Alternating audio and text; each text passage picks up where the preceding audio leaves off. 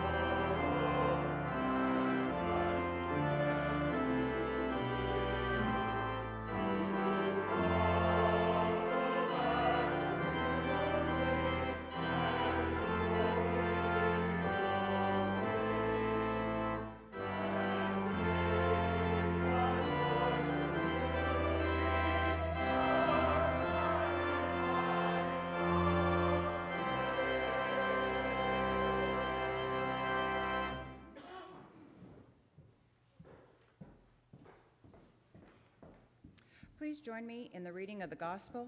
Our lesson today is from Luke chapter 3, verses uh, 15 through 17 and 21 through 22. This can be found on page 60 in your Pew Bible. As the people were filled with expectation, and all were questioning in their hearts concerning John whether he might be the Messiah, John answered all of them by saying, I baptize you with water but one who is more powerful than I is coming. I am not worthy to untie the thong of his sandal, but will baptize you with the Holy Spirit and fire. His winnowing fork is in his hand to clear the threshing floor and to gather the wheat into his granary, but the chaff he will burn with unquenchable fire. Now, when all the people were baptized, and when Jesus also had been baptized and was praying, the heaven was opened and the Holy Spirit descended upon him in bodily form like a dove. And the voice came from heaven You are my Son, the beloved. and with you I am well pleased. The word of God for all children of God, with whom God is well pleased. Thanks be to God.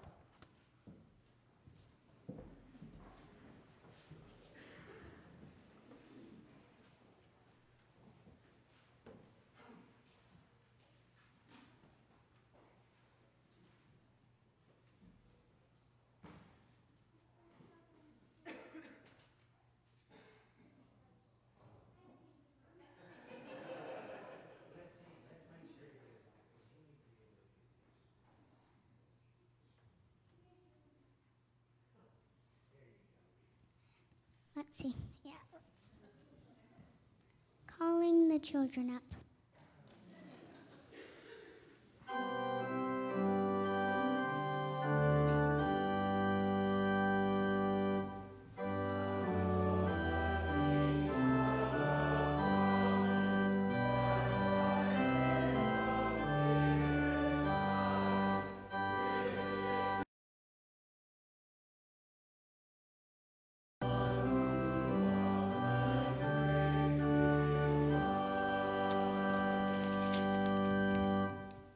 Have you guys ever seen like a train wreck happening right in front of you?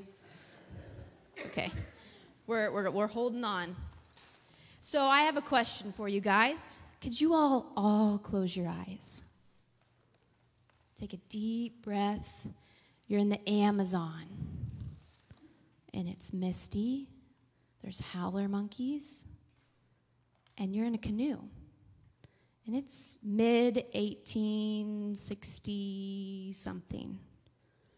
And you hear people talking, you don't know the language, and you hear up ahead some rapids, you don't know how big they are. Your boat weighs 2,600 pounds. How do you feel in this moment? Do you feel scared? Do you feel worried? Uncertain. Okay, open your eyes and then shut them one more time.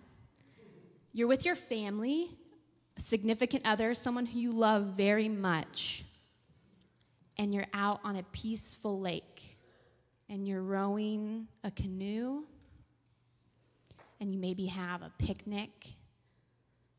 How do you feel there? Good? Happy? Content? Okay, thank you for playing along. So today during Sunday school, what did we make? Canoes. Canoes. They're all on the ground now. But we had some ingenious little canoes that came up. So, what we talked about today was two people. The first story was does anybody know what this story was from? It's a famous president, Theodore Roosevelt. He traveled down, at this time it was called the River of Doubt in the Amazon. And I have read this book and I was inspired. I was also inspired by another gentleman. His name is Daniel Eccles. I don't know if you guys know him. No. And Daniel, one time I overheard him talking about floating down a river. And I'm going to paraphrase to how I heard it that whenever things get scary, what do we do? What do we want to do? Do we want to kind of panic? No. No. Well, that is good. Whenever we're in a canoe, what bad could happen, Emmett?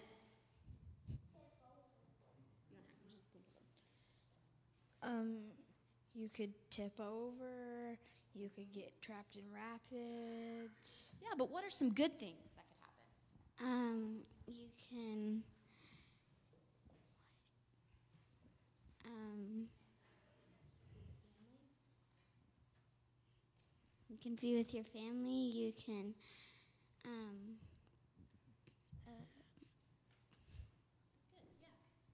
could be with your family. So, what I learned from Daniel and from Teddy Roosevelt, and what we learned today is that whenever things get tough, we may want to grip tight to our canoes, and we may not know what to do or where to go. But we can always trust who? God. When things go easy and we don't really feel like we may have to trust, who do we still want to trust? That's right. So, thank you, Daniel and Teddy Roosevelt for inspiring me and the children. You ready to pray? Will you pray with us? Dear God, we should trust you forever. Help us go for our canoe. The water is dangerous sometimes. We should trust ourselves too. We will try to go for our canoe.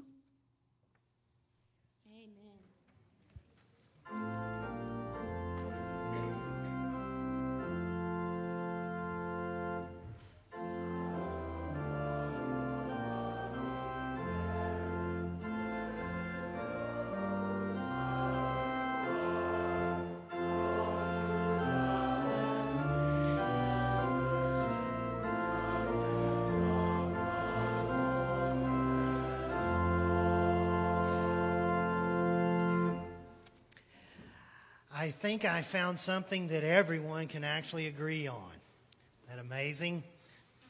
It's really kind of a, a cheap shot here because I'm going to say baby chicks are cute. we can agree on that, right? Cutest among all of God's creatures, little baby chicks, but baby chicks can also be very difficult to tell apart. And that can be a problem, especially if you raise chickens. These newly hatched little balls of down are often identical in size. They're very uniform in their uh, pigmentation. Uh, really kind of perfect matches with their little round bodies and, and even in their imprinted behaviors. They're almost indistinguishable. Every now and then, however, some baby chick has the misfortune to stand out in some way, whether they have a distinctive uh, dark or a light spot in their feathers, or it may be they're a little smaller than all the rest of the chicks, or you know sometimes uh, a mishap with a sharp stick or a piece of wire can create a small scratch that becomes a distinguishing mark. In fact, it becomes a distinguishing mark that can become a mark of death. when the other chicks, despite their adorable, cuddly appearance, begin pitilessly to peck at and, and, and persecute the different chick, sometimes to the point of death. The, the flock mentality of these bird brains can suggest to the flock that any chick that is different must be driven out or must be destroyed. Well, some of us who were the fat kids or the skinny kids or the four eyed kids or the poor kids or the dumb kids or the slow kids or the short kids or the tall kids. Some of us know that bird brains exist in the human community as well. We have a romanticized notion of childhood as an age of innocence but that notion completely ignores how magnificently cruel and vicious human childhood can also be when anyone in the flock you know is different. Even as adults there are racial attitudes and bigotries and homophobia and gender bias and economic oppression and a host of more subtle forms of discrimination that can become strangely acceptable, permissible, and even uh, unifying in a flock mentality. So, how curious that the Christian gospel would hold up Jesus as the emblem of human emancipation and human salvation when Jesus was one who was different. Jesus was one who was rejected, uh, maliciously treated, even gruesomely uh, executed. And even more curious is this baptismal proclamation of, of God's utter delight, God's pleasure in Jesus, this same one who would suffer the kind of indignities and persecution that he suffered. If, if such hostile opposition and mistreatment was the experience of Jesus, Jesus with whom God was well pleased. If that was his experience, it seems reasonable to expect that some opposition, some difficulty may be part of our Christian experience as well. To experience God's pleasure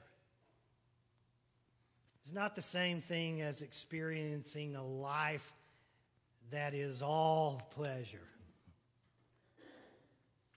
As people who share with Jesus in his baptism and who through baptism share a, a common marking by the Holy Spirit. The Holy Spirit, this, this strange kind of rule stretching uh, dove power as those who through baptism share that common marking with Jesus, we may find that wearing our baptism, wearing this stamp of God's pleasure, can become the distinguishing mark that signals to other members of the human flock attack. This one is different. This one is not conforming. This one is not doing what all the rest are doing. Many of us have experienced this to some degree in recent days as we found ourselves defending the faith of Jesus Christ and, and proclaiming the way of, of Jesus Christ in ways that we never would have imagined of ourselves, but the time seems to demand it. Maybe even to our surprise, we're finding that, that sharing the baptism of Christ and drinking the cup of this one in whom God is well pleased has somehow mysteriously kind of called us out. It's called us to some of the highest moments of witness, some of the most exhilarating, if not frightening, moments of self disclosure and vulnerability, maybe more than any other time in our lifetimes. We're standing firm, even in the line of fire, feeling enabled somehow, empowered with this paradoxical kind of, of dove power.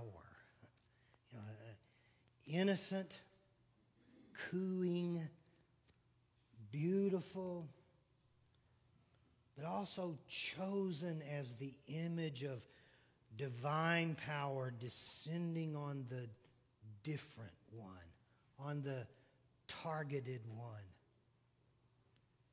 descending on the other and, and, and winning the hearts of more and more and more who also see that power descending. Here in this gospel story on the first Sunday after the Epiphany, we, we kind of see the, the expectation of the Advent season slowly give way to an epiphany courage, a, a, a courage that we need now, C- courage to to stop expecting only, but now to actually achieve what we've expected. Epiphany breaks in with the message that it's time now to count on the Holy Spirit, surprisingly portrayed as a dove. But to count on the Holy Spirit to help us do the works of God, to help us achieve the will of God. Here in this opening scene of Jesus' public ministry, as the baptismal waters drip from his wet hair, the, the rarely heard voice of God breaks into the events of human history. And the voice expresses God's delight. As we come today to reaffirm that we too are baptized, I hope that this may be a moment for us to return in, in sacred memory to the scene of our own baptism and recognize that it too was an occasion of the rarely heard voice of God breaking into human affairs and declaring God's delight. This is my beloved child with whom I am well pleased. Come and remember that you are baptized. Rejoice and be thankful in the name of Christ.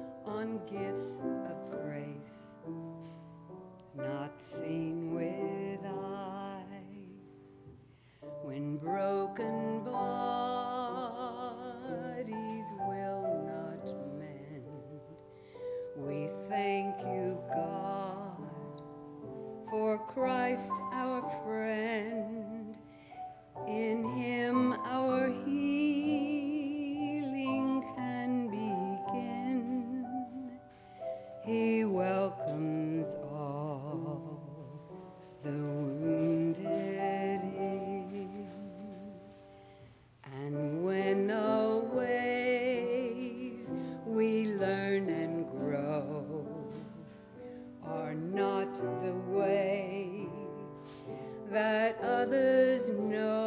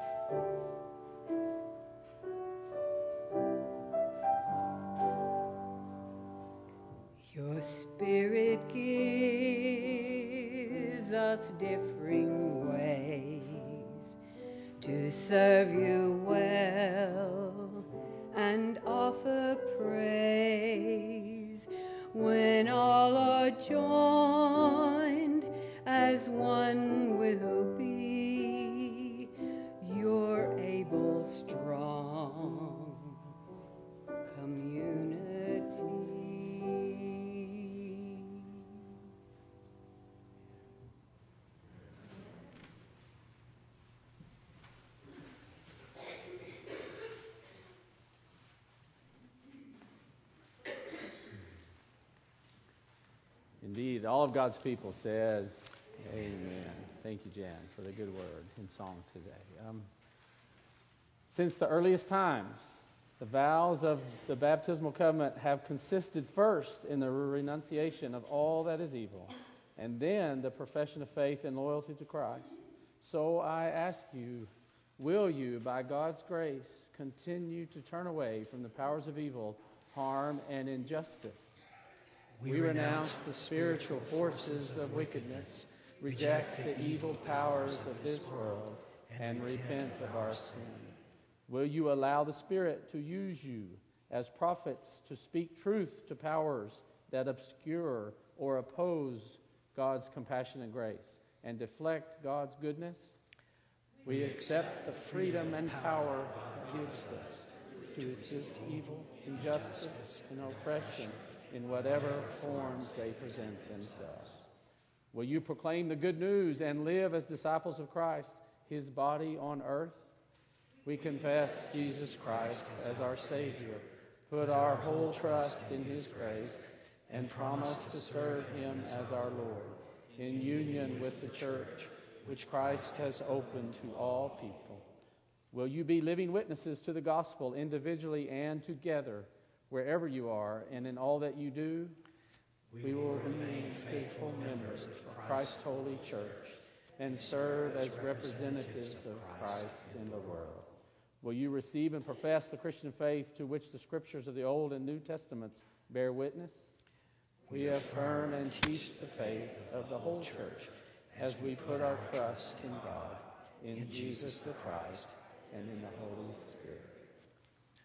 The Spirit of the Lord is with us. Even so, come, Lord, let us pray. Almighty God, the life you birthed in us by baptism into Jesus Christ will never end. Your justice is unfailing. Your mercy is from everlasting to everlasting. Your healing river flows. Your spirit, like wind, blows where you will. Wherever we go, Lord, you are there. But sometimes we try to block the flow.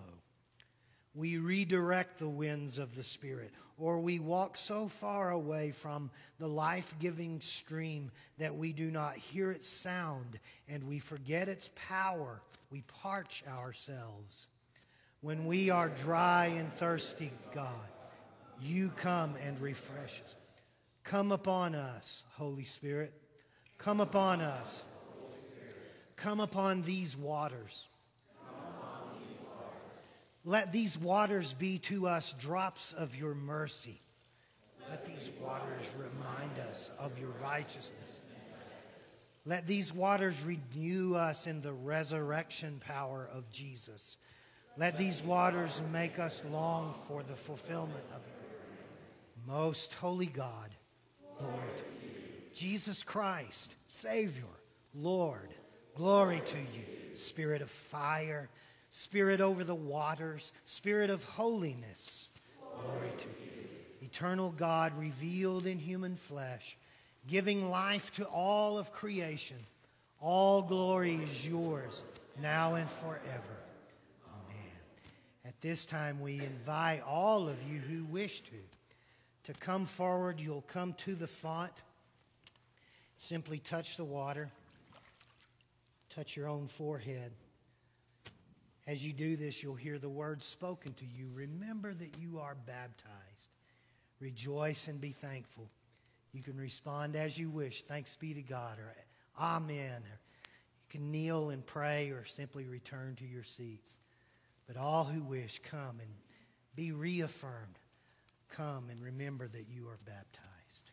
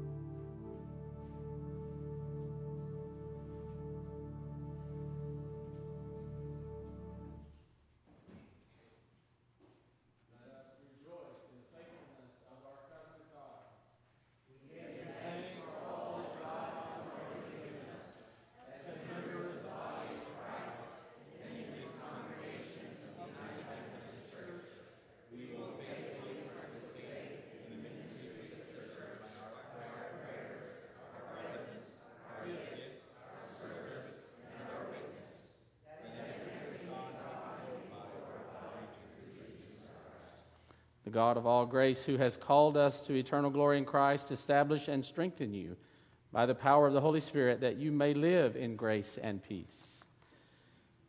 Would you stand and let us offer one, uh, one another signs of reconciliation and love?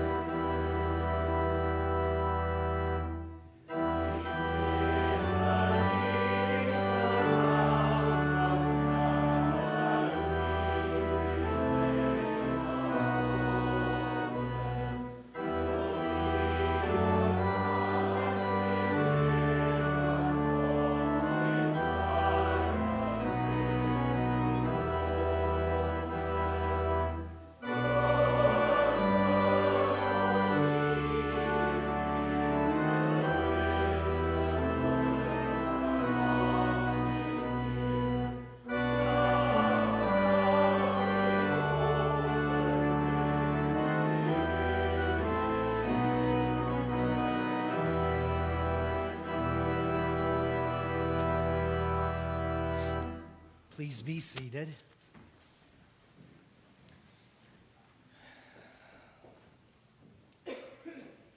Let us pray. Come, day spring, come, wisdom from on high. Fill this place with your light. Fill our hearts with your love.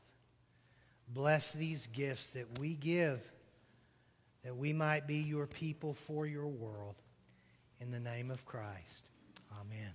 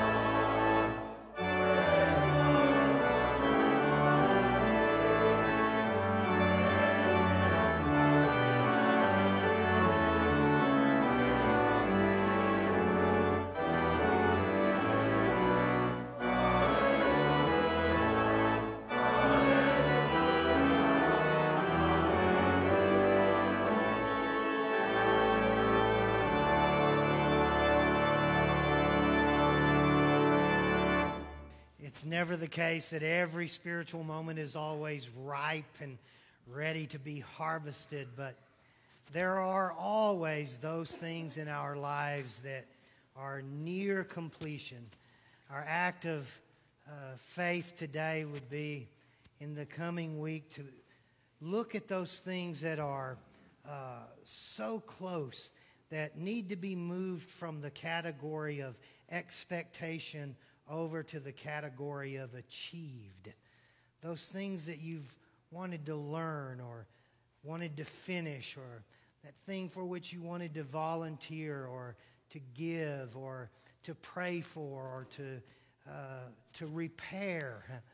Those things that we can move in the coming days from that category of expectation over to achieved.